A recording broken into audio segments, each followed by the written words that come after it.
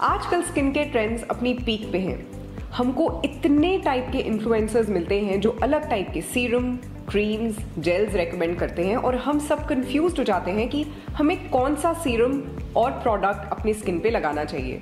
मेरे पास मेरी ओपीडी में इतने सारे पेशेंट्स आते हैं जिनके पास कम से कम 10 डिफरेंट तरीके के सीरम, सनस्क्रीन, क्रीम्स रखे होते हैं, लेकिन उनके स्किन को एक भी सूट नहीं करती। इसलिए ये जानना बहुत ज़रूरी है कि आपकी खुद की स्किन टाइप कैसी है, स्किन कंडीशन कैसी है, और उसी के हिसाब से आपको अपना स्किन सीरम, मॉइस्चराइजर और हर कोई स्किन प्रोडक्ट अपने स्किन के लिए चूज़ करना चाहिए। आपकी स्किन टाइप को क्या क्या फैक्टर्स इंपैक्ट करते हैं? सबसे पहले, status of the skin barrier. जो कि आपकी स्किन को प्रोटेक्ट करता है। दूसरा water content of your skin जो कि आपकी स्किन की इलास्टिसिटी को इम्पैक्ट करता है।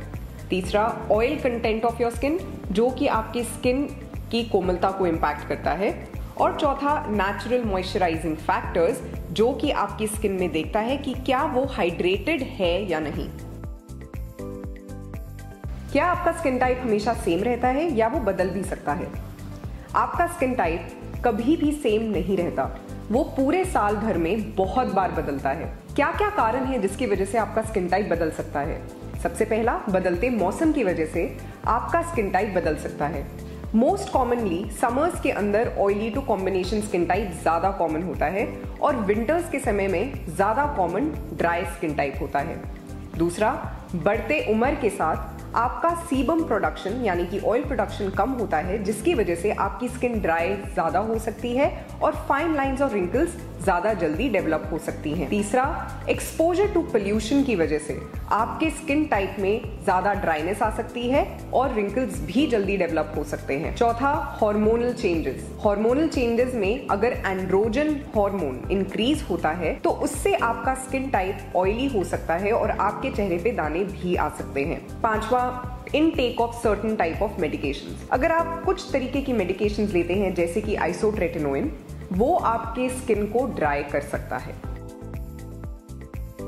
अब अपनी स्किन टाइप को आप कैसे डिटर्मिन करें? सबसे पहले अपने चेहरे को एक जेंटल स्किन क्लेंजर से धो लें। जेंटल स्किन क्लेंजर जैसे कि सेटोफिल जेंटल स्किन क्लेंजर या बर्कोविट्स नरिश स्किन क्लेंजर धोने के बाद हल्के से टावल से पोंछ लें और एक रूम में बैठें जहाँ पे ना ही कोई एसी हो ना ही कोई हीटर हो, सिर्फ़ पंखा हो।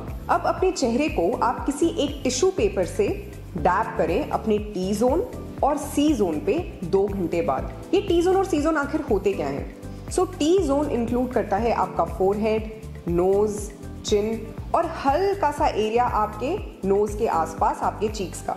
और सी जोन इंक्लूड करता है वो एरिया जो कि आपके ईयर्स और आपके जॉ लाइन के पास में है। अगर आपकी स्किन नॉर्मल होगी तो दो घंटे बाद आपको ना ही कोई खिंचावट महसूस होगी और ना ही आपके टिश्यू पेपर पे टी जोन या सी जोन से कोई ऑयल दिखाई देगा। अगर आपकी कॉम्बिनेशन स्किन है तो आपका टी जोन ऑयली होगा और सी जोन ड्राई या नॉर्मल होगा।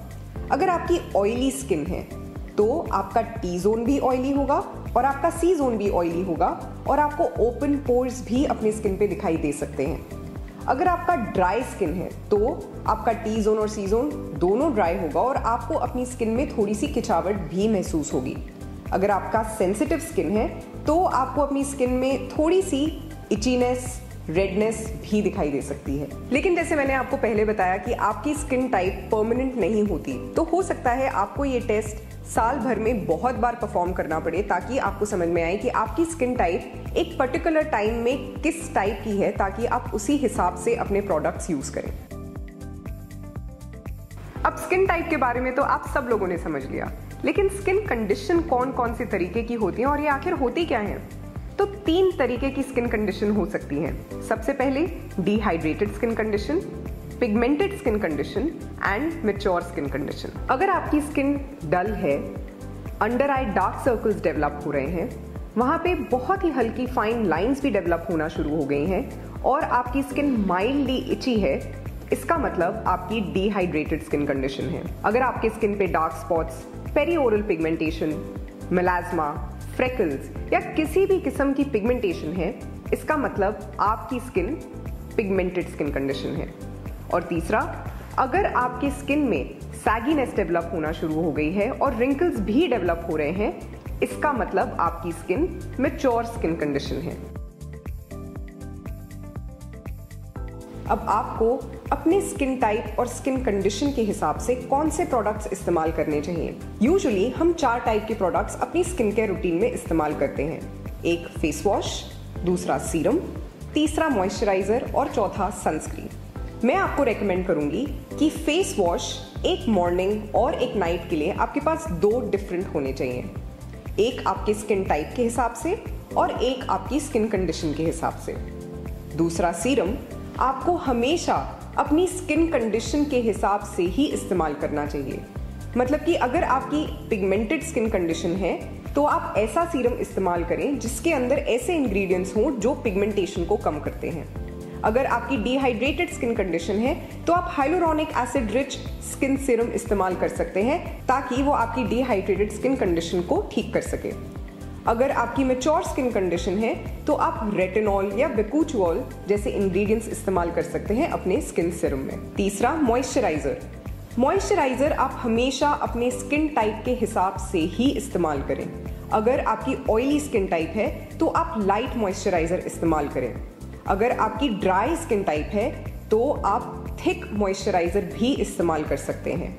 चौथा सनस्क्रीन सनस्क्रीन आपको वैसा ही इस्तेमाल करना चाहिए जैसी आपकी स्किन टाइप है। अगर आपकी oily to combination skin type है तो आप जेल बेस्ड या लोशन बेस्ड सनस्क्रीन इस्तेमाल कर सकते हैं। लेकिन अगर आपकी dry to normal skin type है तो आप किसी भी तरीके की सनस्क्रीन इस्तेमाल कर सकते हैं। सो आई होप अब आप अपनी स्किन टाइप और स्किन कंडीशन को आइडेंटिफाई कर पाएँगे और अपनी स्किन टाइप और स्किन कंडीशन के हिसाब से सही प्रोडक्ट्स खरीद पाएँगे और इस्तेमाल कर पाएँगे। आई होप आपको ये वीडियो पसंद आया होगा और अगर आपको कोई भी क्वेश्चन हो तो आप कॉमेंट सेक्शन में ज़रूर लिखें।